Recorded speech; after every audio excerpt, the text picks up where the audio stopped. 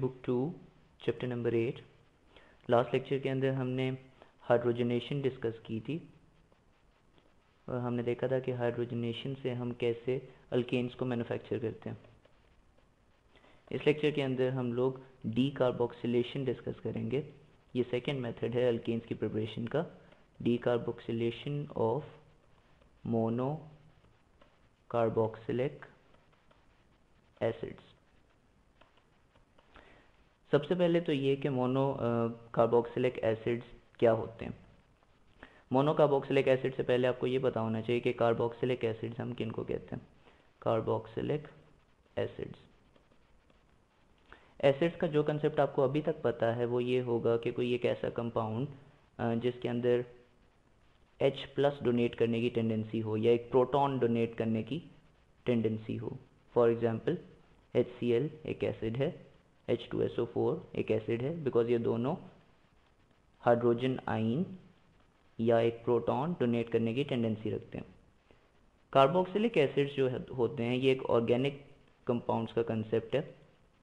और organic compounds के अंदर कोई एक ऐसा कंपाउंड या कोई एक ऐसा हाइड्रोकार्बन जिसके अंदर सी डबल ओ एच ये से पहले भी आपने सुना होगा सी डबल ओ एच ये जिसके अंदर as a functional group exist करता है हम उसको कार्बोक्सिलिक एसिड कहते हैं। C double bond H C double H का स्ट्रक्चर कैसा होता है? C as you know carbon चार बॉन्ड्स बनाता है तो आपका कार्बन दो बॉन्ड्स बना लेता है ऑक्सीजन के साथ, और एक आपके पास हाइड्रोजन के साथ, और ऑक्सीजन के साथ, और एक और फर्दर ऑक्सीजन ये हाइड्रोजन के साथ बॉन्ड बनाता है। ये जो स्ट्रक्चर मैंने ड्रॉ किया है, ये आपके पास सी डबल एच का स्ट्रक्चर है। अगर इस पर आप गौर से देखो, इसके अंदर एक कार्बोनाइल ग्रुप एग्जिस्ट कर रहा है। और एक आपके पास हाइड्रोक्सिल ग्रुप एग्जिस्ट कर रहा है। तो ये जो कार्बोक्सिल ग्रुप इस पूरे को हम बोलते हैं कार्बोक्सिल ग्रुप बिकॉज़ इसमें एक कार्बोनाइल ग्रुप यानी सी डबल बॉन्ड ओ और एक हाइड्रोक्सिल ग्रुप एग्जिस्ट करता है। तो इन दोनों को मिला के हम बोलते हैं कार्बोक्सिल ग्रुप तो carboxyl group C double O H अगर किसी कंपाउंड के अंदर एग्जिस्ट कर रहा है, और साथ में आपके पास पीछे कोई एक अल्काइल चेन लगी हुई है, ठीक है?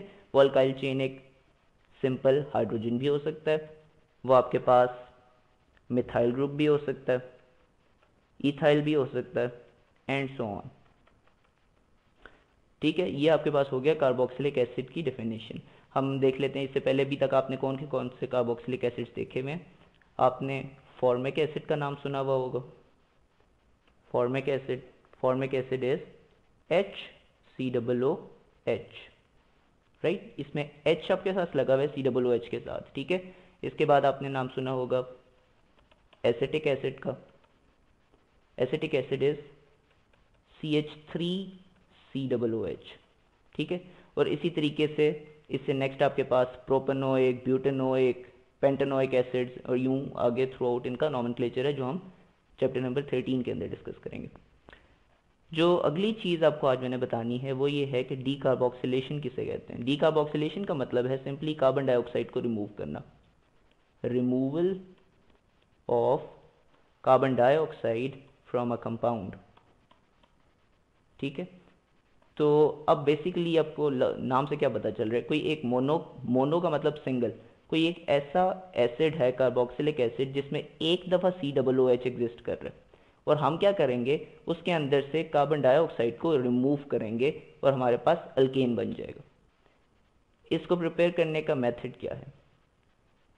सबसे पहले तो आपको ये पता होना चाहिए कि इस जो रिएक्शन में भी आपको बताने लगूँ, इसमें ऐसा कैटलिस्ट जो चीज़ आपके पास यूज़ हो रही है, वो है आपके पास क्विक लाइम क्विक लाइम किसे कहते हैं? लाइम आपने वर्ड सुना होगा, इससे पहले भी लाइम में बार बार यूज़ करता हूँ। लाइम इज़ कैल्शियम ऑक्साइड ठीक है? कैल्शियम ऑक्साइड को हम बोलते हैं क्विक लाइम क्विक लाइम के अंदर अगर आप रिएक्शन करवा दो इसका कॉस्टिक सोडा के साथ कॉस्टिक सोडा आप किस चीज़ को बोलते हो? सोडियम हाइड्रोक्साइड को. तो ये जो आपके पास इन दोनों का काम बनता है, हम इसको बोलते हैं सोडा लाइन सोडा लाइन और ये ड्राई फॉर्म में आपको चाहिए होता है बिकॉज़ क्विक लाइम आपके पास वेट होता है। आप इन दोनों को आपस में रिएक्ट कराते हो और इन दोनों का जो मिक्सचर होता है, हम उसको बोलते हैं सोडा लाइम तो सोडा लाइम को हम लोग यूज़ करेंगे आने वाले रिएक्शन के अंदर एज अ कैटलिस्ट रिएक्शन इंतहाई सिंपल है। रिएक्शन सिंपली ये है कि आप कोई भी एक मोनोकार्बोक्सिलिक एसिड लें फॉर एग्ज़ाम्पल मैं लेता हूँ C H three C double O H अच्छा अभी तक तो मैंने आपको ये कहा ना कि हम एसिड्स के बारे में बात कर रहे हैं। बेसिकली हम लोग एसिड्स की डीकार्बोक्सिलेशन नहीं करते। हम सॉल्ट्स की करते हैं।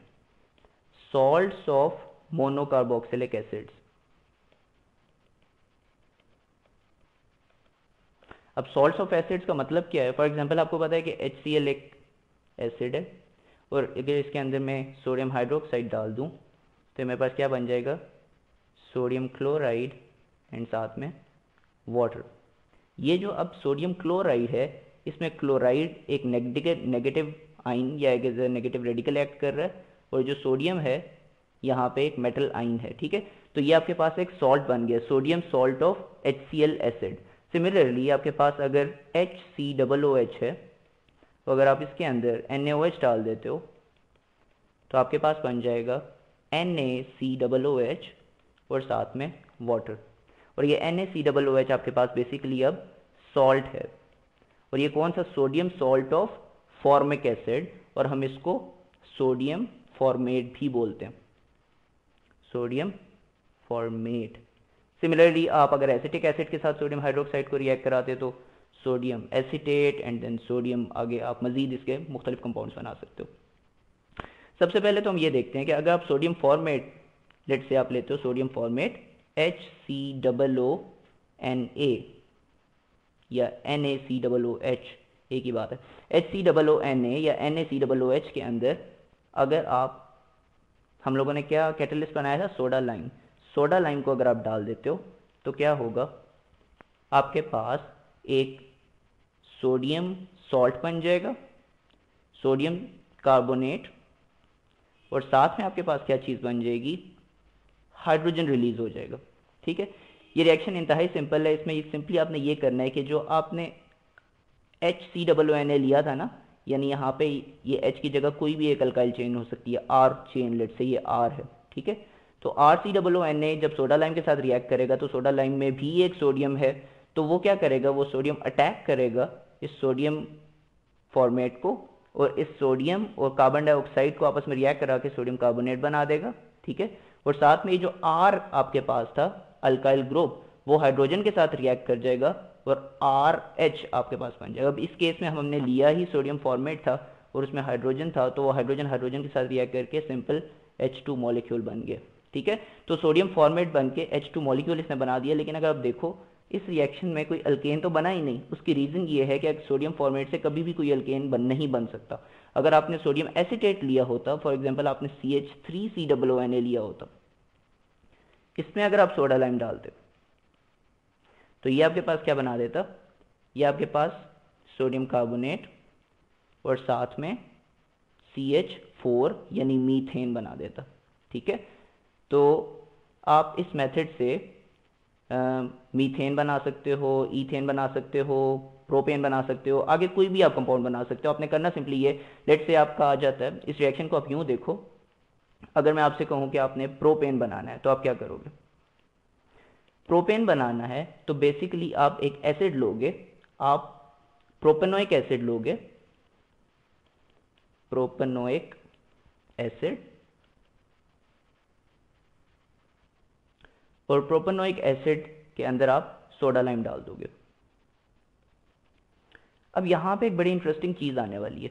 अगर आप प्रोपेनोइक एसिड प्रोपेनोइक एसिड का मतलब क्या होगा? Propane three three total number of carbon atoms अगर total number of carbon items three हैं, इस बात का मतलब ये हो गया कि एक सी एच थ्री एक सी एच टू और आगे एक सी डबल एच लगा हुआ है, ठीक है? ये आपने क्या किया? प्रोपेनोइक एसिड ले दिया। अब आप क्या करो कि इसका सॉल्ट लो। प्रोपेनोइक एसिड के साथ रिएक्शन तो नहीं कराना ना, इसके सॉल्ट के साथ कराना है। तो एच की जगह एन लगा दो आप, या पोटेशियम लेट से हम एन के साथ ही बात चलाते हैं फ़िलहाल। आप C H three C H two C double O N A या आपने सोडियम प्रोपनेट बना दिया, ठीक है? इसके अंदर आपने डाल दिया सोडा लाइन तो क्या बनेगा आपके पास? एक आपके पास सोडियम कार्बोनेट बन जाएगा एज ऑलवेज और साथ में आपके पास C H three C H two अब ये जो सोडियम और कार्बन ये वाला पार्ट तो अलग हो गया ना। अब दो कार्बन और साथ में एक एक्स्ट्रा हाइड्रोजन लग जाएगा तो ये तो C H three C H three बन गया। यानी आपके पास क्या हुआ? अब प्रोपनो एक एसिड आपने लिया और बन आपके पास ईथेन गया। ठीक है? तो ये आपका एक रिज़ल्ट है इस मेथड का कि अगर आप कोई ऐसा कंपाउंड लो जिसमें तीन कार्बन आइटम्स हैं तो जो आपके पास रिजल्टिंग अल्केन बनेगा, उसमें टोटल दो कार्बन आइटम्स होंगे, ठीक है? यानी अगर आपने प्रोपेन बनाना है तो आपको ब्यूटेनोइक एसिड का सॉल्ट लेना पड़ेगा। ब्यूटेनोइक एसिड सॉल्ट ठीक है? So that's it about decarboxylation इसके बाद हम डीकार्बोक्सिलेशन का एक नया मेथड देखने लगे हैं। इस मेथड का नाम है कोल्ड इलेक्ट्रोलिटिक मेथड ये लेक्चर जो कि काफ़ी एक्सटेंड हो रहा है, इस टॉपिक को कोल्स इलेक्ट्रोलिटिक मेथड को हम नेक्स्ट लेक्चर के अंदर कवर करेंगे। इस लेक्चर का मैं आपको समराइज कर देता हूँ जल्दी से। इस लेक्चर में हम लोगों ने क्या देखा? इस लेक्चर के अंदर हम लोगों ने ये देखा कि डी का मोनोकार्बोक्सिलिक एसिड्स क्या होते हैं। यानी सिंपली कार्बोक्सिलिक एसिड सबसे पहले क्या होते हैं? यानी सी डबल ओ एच जिनके अंदर एग्जिस्ट करता है कार्बोक्सिल ग्रुप कहते हैं हम किसको हैं? जिसके अंदर एक कार्बोनाइल और एक हाइड्रोक्सिल ग्रुप आपके पास एग्जिस्ट करता है। सी डबल ओ एच अगर किसी अल्काइल चेन के साथ लगा हुआ है, हम उसको कार्बोक्सिलिक एसिड बोलते हैं। अगर आपके पास सिर्फ़ एक कार्बोक्सिलिक एसिड कार्बोक्सिल ग्रुप लगा हुआ है और किसी कंपाउंड की चेन के एंड पे लगा हुआ है तो हम इसको, मैंने आपको पहले नहीं बताया था, बता देता हूँ, हम इसको फैटी एसिड्स भी बोलते हैं। आपके पास अगर इस फॉर्म में कार्बोक्सिलिक एसिड्स हैं तो हम इनको फैटी एसिड भी बोलते हैं। इसके बाद आपके पास कार्बोक्सिलिक एसिड की मुख्तलिफ़ एग्जाम्पल्स थी, जिसके अंदर हमने फॉर्मिक एसिड देखा एसिटिक एसिड देखा propanoic acid and so on इसके बाद मैंने आपको ये बताया था कि सोडा लाइम किस चीज़ को कहते हैं? सोडा लाइम बेसिकली कम्बिनेशन है कॉस्टिक सोडा का और लाइम का, ठीक है? तो कॉस्टिक सोडा यानी सोडियम हाइड्रोक्साइड और लाइम के कम्बिनेशन को हम सोडा लाइम बोलते हैं। और सोडा लाइम और कॉस्टिक सोडा का जो कम्बिनेशन है, ये हम लोग क्यों यूज़ करते हैं, ये भी मैं आपको रीज़न बता देता हूँ। अगर इस रिएक्शन जो भी आपको मैंने पढ़ा, पढ़ाया है, इसके अंदर आप सिंपली सोडियम हाइड्रोक्साइड यूज़ कर दें। अब सोडियम हाइड्रोक्साइड के साथ प्रॉब्लम क्या है? पहली बात तो ये है कि sodium hydroxide very violent reaction produce करता है। वायलेंट रिएक्शन वायलेंट रिएक्शन से होगा क्या कि जो आप चीज़ बनाना चाह रहे हो, वो नहीं बनेगी, कुछ और बन जाएगा, ठीक है? और बहुत ही सडन रिएक्शन जो होते हैं, वो नॉर्मली उसमें हीट लॉसेज इन्वॉल्व होते हैं, ठीक है?